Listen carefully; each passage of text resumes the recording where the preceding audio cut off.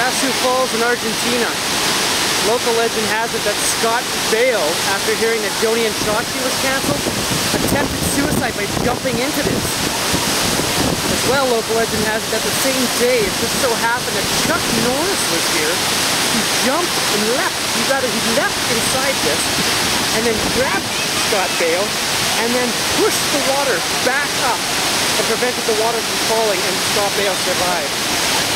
Uh, only to later regret that Scott Baio later got Charles in charge, and we all wish that Chuck Norris wasn't.